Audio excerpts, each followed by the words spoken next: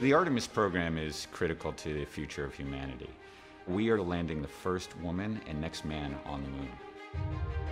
The mock-up is a full-scale replica of the system that we are going to be sending to the lunar surface in 2024. This is going to allow NASA's astronauts in Houston to get firsthand experience of our design so that they can start to give us feedback the mock-up represents our first effort as a national team to integrate among Lockheed Martin, Northrop Grumman, Draper, and Blue Origin.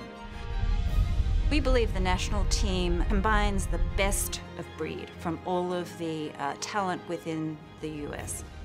The architecture is really comprised of three major elements.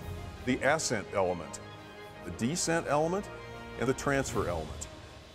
We, Lockheed, are building the ascent element. It's where the crew is housed. The transfer element is to transfer the lunar lander down to the surface of the moon. The descent element built by Blue Origin is really a game-changing moon landing vehicle. That's leveraging three years of experience that Blue has been working to allow a sustained human presence for decades to come by using lunar resources.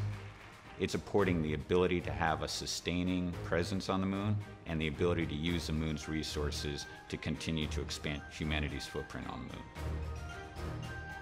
As a partner in the national team, Draper will provide guidance, navigation, and control, avionics, and software systems. Our contributions draw on the systems we developed for NASA and the Apollo program when America first landed on the moon 51 years ago.